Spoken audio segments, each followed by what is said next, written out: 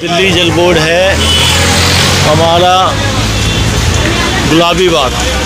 यहाँ पे लाइन से गाड़ी लगी हुई है। और ये दिल्ली सरकार की नाकामी है। कोई सुनवाई नहीं है। जनता अंदर रो रही है पानी के लिए। और ये जनाब यहाँ पे लाइन लगा के खड़े हैं गाड़ियों को। खाली गाड़ी लाइन से खड़ी हुई हैं।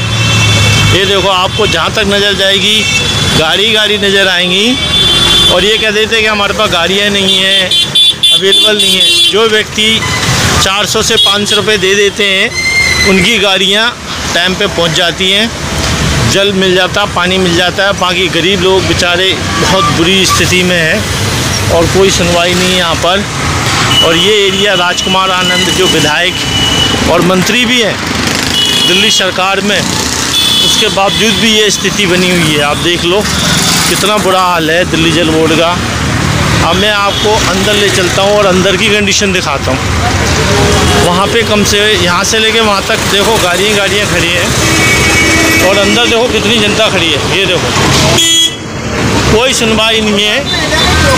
ये विधायक का एरिया है राजकुमार आनंद जी का। ये देखो। ये देखो कितनी जनता खड़ी है, निरंतर ये बेचारे पानी के लिए तड़प रहे हैं और कोई सुनवाई नहीं है। ये विधायक जी राजकुमार आनंद का एरिया है जो कि दिल्ली सरकार में मंत्री है। चार सौ में जो लोग चार सौ रुपये दे रहे हैं उन लोगों के टैंकर चले जा रहे हैं। चार सौ पाँच सौ रुपये का इन्होंने। आप लोग ही बोलना जरा जो चार सौ और पाँच सौ रुपये दे रहे हैं उन लोगों के टैंकर जा रहे हैं। बाकी जो जितने लोग हैं जिनके डेली टैंकर आ रहे हैं फिक्स टैंकर हैं उन लोगों के टैंकर नहीं आ रहे हैं ना? हाँ पहले जाते थे।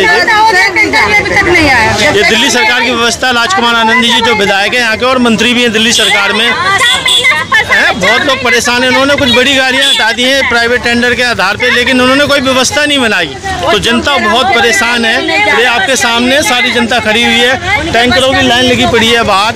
लेकिन व्यवस्था बहुत गंदी है यहाँ पे। कोई ज़िम्मेदारी नहीं है, कोई इस चीज़ पे कोई कार्रवाई नहीं है। जनता त्राई त्राई है। और इसका अब आने वाले विधानसभा और लोकसभा में इनको जवाब मिलेगा। जब ये जनता के बीच में जाएँगे, अगर जन आपके बीच में जब आएँगे विधायक जी तो आप लोग फिर वोट वगैरह दोगे इनको क्या? नहीं, इसी तरीके का अगर इन्होंने ये तो कहते हैं कि दिल्ली सरकार पानी फ्री दे रही है तो आपको फ्री मिल रहा पानी?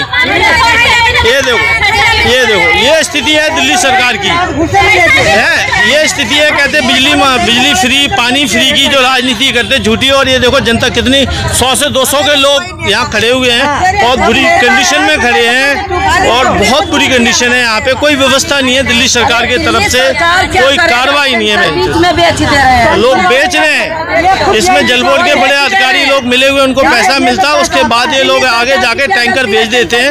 और ये मैं नहीं कह रहा हूँ ये जनता कह रही है आपके बीच में है इन पर कड़ी कार्रवाई हो। मैं प्रार्थना करता हूँ केंद्र सरकार से कि इनके ऊपर ईडी की जाँच हो और बड़ी कार्रवाई हो बहुत ज़्यादा। पैसे जो मेरा टैंकर है। हाथ में चार सौ रुपया लेके टैंकर भेज दिया हमारा टैंकर भेजा ही नहीं। नहीं भेजा। ये देखो ये इतनी जनता बोल रही है कि चार सौ से पाँच सौ रुपये इन्होंने रेट फिक्स कर रखा और इसमें काफ़ी ड्राइवर और काफ़ी बड़े अधिकारी लोग मिले हैं क्योंकि बिना बड़े अधिकारी के ये लोग साठ गांठ के ये काम नहीं कर सकते। तो अधिक कार्रवाई करना चाहिए दिल्ली सरकार के जो भी मंत्री लोगों के खिलाफ।